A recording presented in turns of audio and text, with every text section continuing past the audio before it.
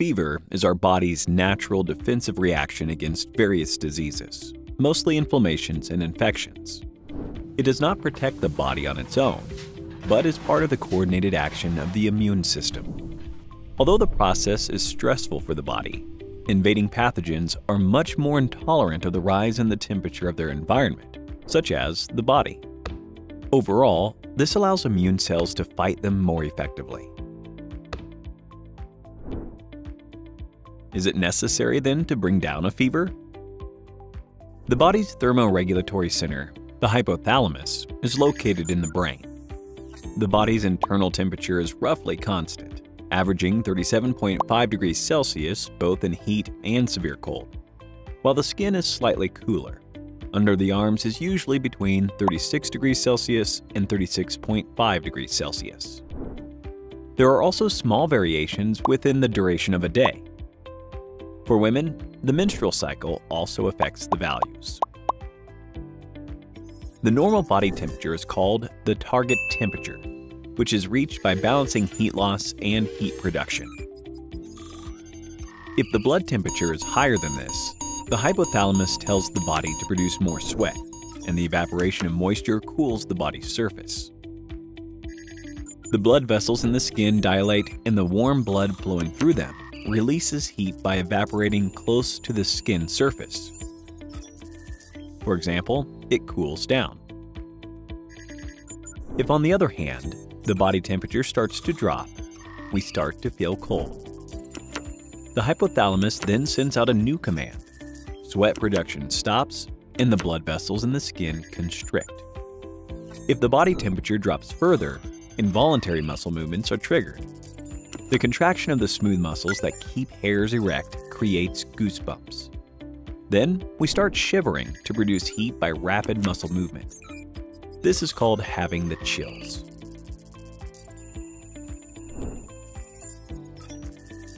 In fever, on the other hand, the hypothalamus, triggered by certain compounds, temporarily raises the target level of normal body heat.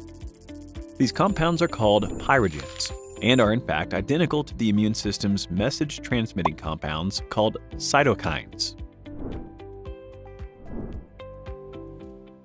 They are produced by our immune cells mainly in a defense against pathogens, but also during cancer and certain autoimmune processes. When the fever goes up, the body goes into heating mode. This is when the processes that occur when you feel cold are triggered. Heating up the body is energy and fluid intensive. A 1 degree Celsius rise means a 10 to 12% increase in metabolic rate and a 15 to 20% increase in fluid demand. At the peak of the fever, for example when the new target value is reached, the sensation of cold disappears. The skin flushes and the balance of heat production and heat dissipation is maintained at the higher temperature. To maintain the elevated body temperature, blood circulation speeds up and the heart rate increases. When fever is reduced spontaneously or by antipyretics, it means that the target value has returned to normal. The body then begins to lose heat and flushes and sweats profusely. High body temperature is unbearable for many pathogens, so fever can help the healing process in certain infections. It follows that it does not necessarily need to be controlled, as it is a beneficial condition. But where does a fever start? And if it does start, when should it be controlled? When the temperature in the armpits reaches or exceeds 37.2 degrees Celsius, we talk about an elevated temperature, while fever starts above 38 degrees Celsius. Above 39 degrees Celsius is a high fever, and above 40.5 degrees Celsius is a very high fever, hyperpyrexia. In most cases, the fever will go away on its own within a short time. While it lasts, it is vital that the patient is properly hydrated, as dehydration caused by fever can be more dangerous than the fever itself. Water is perfect for hydration. But if sweating is very heavy, mineral salts should also be replenished. In addition to light soups, sport energy drinks are also a good way to do this. However, A fever that persists for days or even weeks puts particular strain on certain organs. So reducing temperature may be warranted in the case of elderly or chronically ill patients. Antipyretics inhibit the production of pyrogenic compounds in the body. Thus, the target body temperature in the hypothalamus returns to normal and the body begins to cool itself. Heat dissipation can be helped by wearing light clothing and a thin blanket, or by applying a compress to the forehead or limbs. In different diseases, fever patterns can be observed, which is why hospitals keep fever charts and why it is important medical information about how body temperature changes during the course of the illness. A 1 degree Celsius rise in temperature increases the heart rate by 10 and the respiratory rate by 4 to 6. As the fever subsides, the pulse and respiratory rate normalize. If the fever subsides but the pulse and respiratory rate do not return to normal, this may indicate a serious problem that may require medical intervention. Fever associated with infections can cause convulsions in susceptible people. This is febrile seizure, which usually occurs under the age of 6 and in a third of cases has a family history. Although frightening, it is a harmless symptom. Febrile convulsions are a condition involving twitching in the limbs and less commonly, loss of consciousness.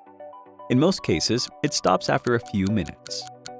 However, if the seizure lasts longer than 5 minutes, an ambulance should be called, as seizures can be a preliminary symptom of epilepsy or more serious infectious diseases with neurological complications. The use of antipyretics or cooling baths is completely ineffective in such cases, and they are not suitable for prevention either. An antispasmodic suppository given into the rectum may help to relieve the nausea. After the first febrile spasm, even a very brief one, you should consult your doctor, who will decide what to do next and prescribe an antispasmodic if necessary. Fevers can usually be treated at home, but a rise in body temperature can also be a warning sign of some serious illnesses. Seek medical attention immediately if the condition of the patient with fever worsens. If they start vomiting or have frequent diarrhea, especially if the patient is an infant or young child. Also, seek medical help if the child is moaning and crying inconsolably, or if they are choking, have difficulty breathing, sleepy, or difficult to wake. Alongside fever, dark purplish rashes that appear in spots and do not fade on pressure, as well as a fever lasting more than three days or a high fever that returns after several days without fever, require rapid medical attention. A hospital visit is required if a baby under 3 months of age has a fever of 38 degrees or more, or if their temperature rises to or above 39 degrees between 3 and 6 months of age. Some people are not susceptible to fever even when ill. But for the majority, fever as a symptom is a very early indicator of illness, and its nature can provide important information for doctors. Although fever can be stressful for the body, it is a useful part of the immune system's defense mechanism. The right choice of antipyretic treatment, depending on the patient's condition, can greatly aid recovery. Subscribe to our channel.